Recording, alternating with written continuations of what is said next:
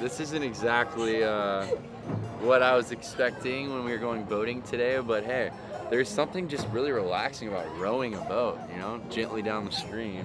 What would be your perfect day?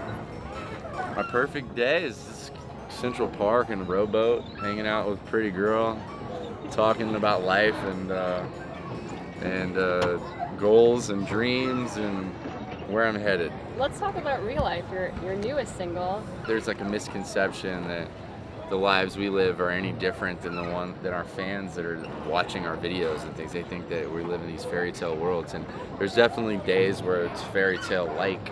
But uh, I'm a real guy, and, I, and I, I have a real family and real problems, just like anybody else.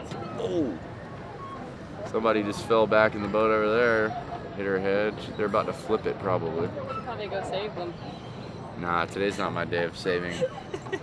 I got my good boots on.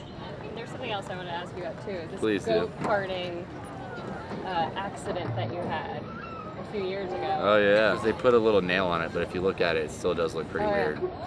I wouldn't even notice It's kind of hard to bend it. Yeah. Were you ever nervous during that time that you wouldn't be able to play, No, it's just a finger. I got nine more.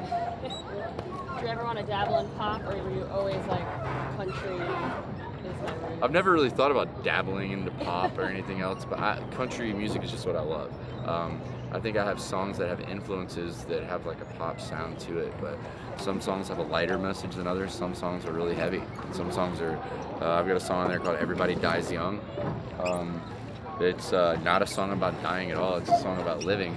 Although not every day will be perfect, but if you can approach every single day with just the thought of I'm going to ride it out for what it is, then I think that uh, your needs will be eventually satisfied.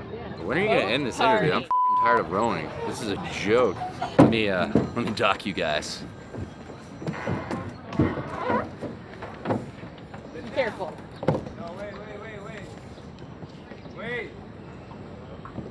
Wait, what?